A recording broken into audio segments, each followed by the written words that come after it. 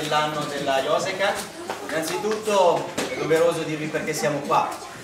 Oggi ci sono stati un po' di inconvenienti, semplicemente il comune ha prenotato la sala che c'era destinata a pareggio a due associazioni differenti, a noi e a una di Francobolli. Loro sono arrivati primi questa mattina verso le 8, noi alle 11 ce la siamo trovata occupata. Quindi per non mischiarci ai francobolli siamo dovuti ripiegare qua in questa, in questa struttura.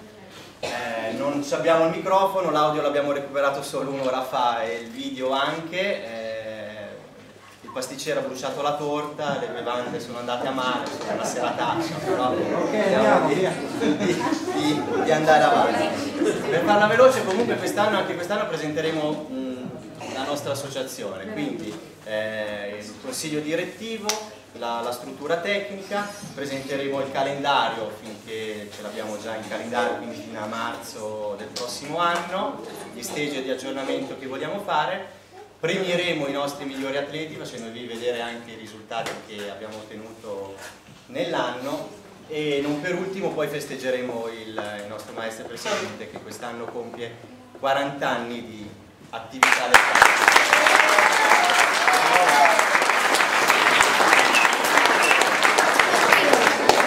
Avrete letto nel sito, da quest'anno la Yosecan si fa in tre.